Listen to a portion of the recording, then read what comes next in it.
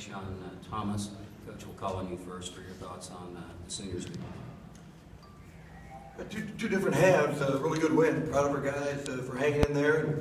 Uh, first half, we just didn't have much going, uh, didn't have much activity on either end of the floor. But yet, I liked our guys' comments. I thought uh, their attitude, their focus at halftime was was uh, good, very positive. They were anxious to get back out there, and uh, and then their play uh, showed that. Uh, much more active defensively in the second half, uh, created some offense from defense, pushed the ball a lot more aggressively, and made a lot more plays for each other. So proud of the guys. Good win over a good Oklahoma State club. Okay, Coach, thank you. And let's go to questions for uh, the two guys, and we'll come back for Coach. Guys, First what was, question- uh, The first question uh, will be here on the front. Barry. Yeah, Barry with the Oklahoma. Buddy, you uh, got off to a slow start, but that stretch, I think you guys scored six straight possessions.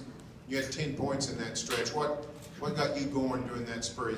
Uh, just, you know, my teammate Tommy, you know, areas where I'm comfortable scoring the ball. You know, Jordan gave me a run out and I was able to tackle, and get a foul, you know, and uh, I was able to get offensive board, you know, and uh, everybody was, just stay positive, you know, and coach did a good job just keeping us calm in the locker room, you know, and they, they got out two quick buckets and uh, we responded back to that and uh, I feel like know, us picking up full court helped us, you know, get our energy back and uh, it was good for us.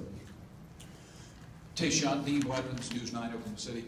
Uh, Was it a was it a matter of not being aggressive enough in the first half? And if that was the case, why would you be that way in the first game of postseason? Um, I think it was just us thinking too much. I think I think we, it was just like we, we got the ball in certain spots that we know we could score, like the wall where we wanted to.